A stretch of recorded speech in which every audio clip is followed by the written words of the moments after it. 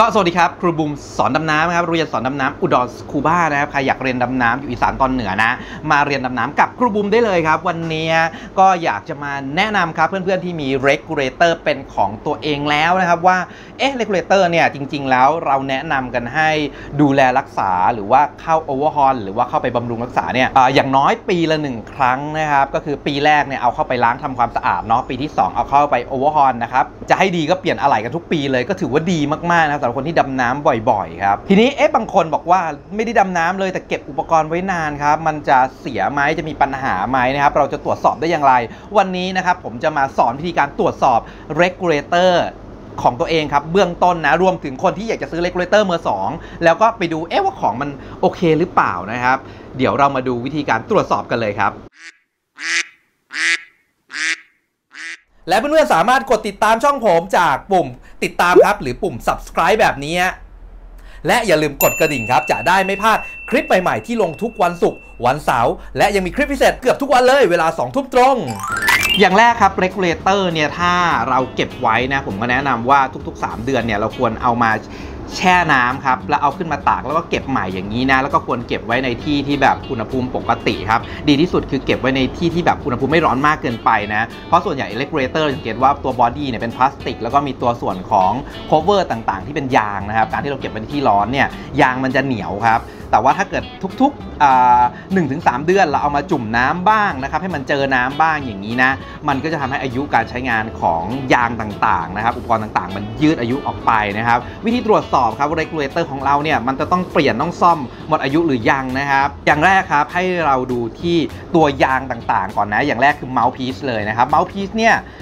เรากัดไปเยอะๆครับหรือว่าเก็บไว้นานๆมีโอกาสแตกร้าวและขาดได้นะครับ กรณีที่ขาดที่ตัวฟันเนี่ยเราจะเห็นอยู่แล้วนะ เพราะว่ามันงับไม่สนิทนะครับ มันก็จะเป็นรอยฉีกต่างๆครับแต่ส่วนบางครั้งเนี่ยมันขาดตรงขอบด้านบนครับที่เป็นตัวขอบยางนะมันทำให้เวลาเราหายใจเนี่ยน้ำมันไหลเข้าไปครับ เนื่องจากว่าเวลาเราเก็บไว้นานๆครับยางมันเริ่มแข็งมันเริ่มหดตัวนะมันก็อาจจะเกิดรอยฉีกได้แม้กระทั่งตอนที่เราก่อนเราไปเนี่ยมันไม่เกิดรอยฉีกนะแต่ว่าพอเราไปถึงใส่กระเป๋าครับมีการขนย้ายต่างๆ กระแทกเกิดรอยฉีกนะ แบบนี้ก็เวลาหายใจน้ำมันเข้าปากได้ง่ายๆครับก็เปลี่ยนเมาส์พีซนะเดี๋ยวนี้เมาส์พีซอันนึงแค่มีตั้งแต่ราคา 60-70 บาทนะ ถึงราคาประมาณ 200 บาทครับ แล้วก็ถ้าใครอยากได้แบบเป็นฟันนะ กัดเป็นฟันยางเลย เป็นรูปฟันตัวเองก็ราคาเดี๋ยวนี้นึกจะ 3 400 บาทก็มีแล้วนะครับ ก็ลองไปหาซื้อกันดูนะครับ อะ ต่อมานะครับ ตัวฝาครอบนะครับสำหรับบางคนเนี่ยที่เป็นตัวกด purge เนี่ย เป็นยางนะครับ อันนี้ต้องตรวจสอบให้ดีนะว่าตัวยางมันกดแล้วมันแตกมันขาดไหมอย่างบางยี่ห้อนะปรากฏว่าตอนใช้เนี่ยตอนยังไม่ใช้นี่ไม่เป็นไรครับ แต่พอกดเข้าไปนี่นะโอ้โหแตกคามือเลยนะ สังเกตว่าลูบๆพอมันเหนียวเหนียวเนี่ยบอกเลยว่า regulator เนี่ยถ้าเกิดยางมันเหนียวเหนียวเนี่ยจริงๆควรจะเปลี่ยนละนะครับใช้ไม่ได้แล้วนะต้องเปลี่ยนตัวฝาครอบเปลี่ยนอะไรให้เรียบร้อยนะแล้วก็จริงๆเนี่ยถ้าบางรุ่นนะมันพอแกะได้นะครับแต่ถ้าเกิดใครแกะไม่เป็นอย่าแกะเองนะก็คือด้านในของ regulator เนี่ยมันจะมียาง dia มันจะมีแผ่นไดอะแฟรมนะซึ่งแผ่นไดอะแฟรมพวกนี้ถ้าขาดครับ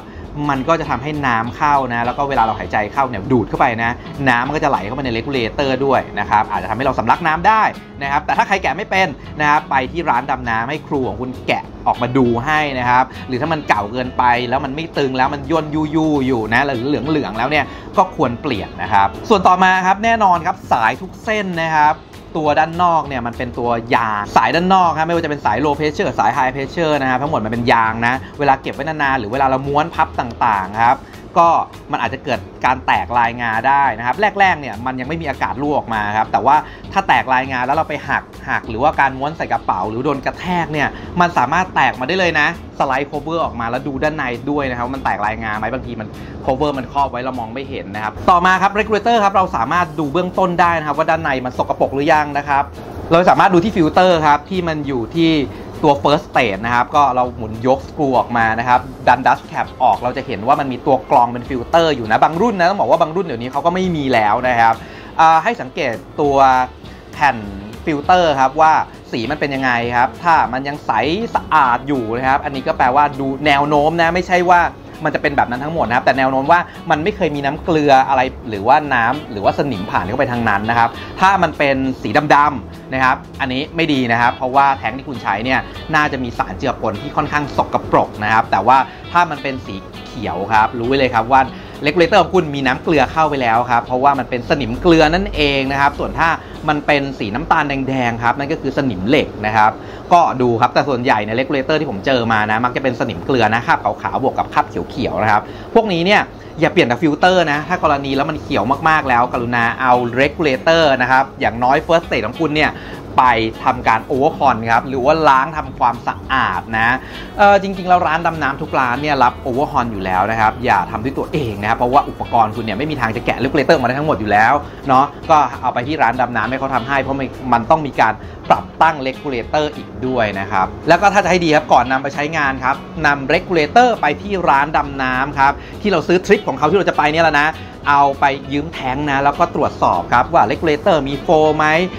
อากาศยังแรงดันปกติไหมแรงดันสาย low pressure นะควรจะอยู่ที่ประมาณ 140 นะครับ หรือถึงร้อยไม่เกิน 150 ประมาณนี้แหละนะ ถ้ามันเกินเนี้ยส่วนใหญ่มันจะ flow นะครับ regulator regulator flow ไม่ได้หมายความว่าเสียนะ บางทีตัวเม็ดซิกต่างๆ ข้างในเนี่ยที่มันเป็นตัวเขาเรียกว่า อุดไม่ให้อากาศมันไหลนะครับ มันเริ่มสึกละนะ เราต้องไปปรับตั้งใหม่หรือกลับด้านนะครับ หรืออาจจะเปลี่ยนนะ ก็ดีที่สุดก็คือการเปลี่ยนนะโอเวอร์ฮอนนั่นเองนะครับ ก็สำหรับคนที่จะเลือกซื้อ regulator มือ 2 ใช้วิธีแบบนี้นะครับ ไปดู regulator ก็ได้ จริงๆ regulator มือ 2 เนี่ยเป็นอุปกรณ์ที่เราซื้อได้นะ regulator จริงๆ อายุการใช้งานนี่เป็น 10-20 ปีนะครับ ไม่เสียนะ ก็ซื้อถ้าใครซื้อมือ 2 มาครับ ก็แนะนำว่าให้เอาไปโอเวอร์ฮอนก่อนเลยครั้งหนึ่งนะเพื่อความปลอดภัย อย่าซื้อมือ 2 แล้วเอามาใช้เลยทันทีครับแบบนี้มันอันตรายนะเพราะบางทีเนี่ยมันเป็นของที่ หิ้วมาจากญี่ปุ่นนะเป็นมือ 2 จากโกดังญี่ปุ่นอะไรแบบนี้นะเขาไม่ได้ดูแลมาหรือเก็บมา 20 กว่าปี แล้วก็เราเอามาซื้อต่อ แล้วก็เอาไปใช้งานเลยอย่างนี้มันไม่ได้ครับบางทีข้างในเนี่ยมันเป็นสนิมนะแล้วพวก piston ต่างๆ หรือยางข้างในมันขาดมันอุดตันแล้ว เดี๋ยวจะเกิดปัญหาขึ้นใต้น้ำได้นะครับทางที่ดีนะ ใครซื้อ regulator มือ 2 รีบเอาไปที่ร้านดำน้ำไปโอเวอร์ฮอนก่อน 1 ครั้งก่อนนำไปใช้งานนะครับ ก็หวังว่าคลิปวิดีโอนี้นะจะเป็นประโยชน์กับเพื่อนๆนักดำน้ำด้วยนะครับ และที่สำคัญอย่าลืมนะมีอุปกรณ์ของตัวเองต้องดูแลรักษาให้ดีและหมั่นทำความสะอาดโอเวอร์ฮอนล้างเก็บอย่างถูกต้องนะครับอะวันนี้ขอบคุณมากครับที่ติดตามชมไปก่อนครับ บ๊ายบายเพื่อนๆสามารถไปดูคลิปวิดีโอของผมได้จากกราฟใส่ไว้ตรงนี้นะครับ แล้วก็อย่าลืมกดไลค์กด subscribe กดแชร์กดทุกอย่างครับคลิปนี้นะอย่าลืมกดกระดิ่งด้วยนะครับ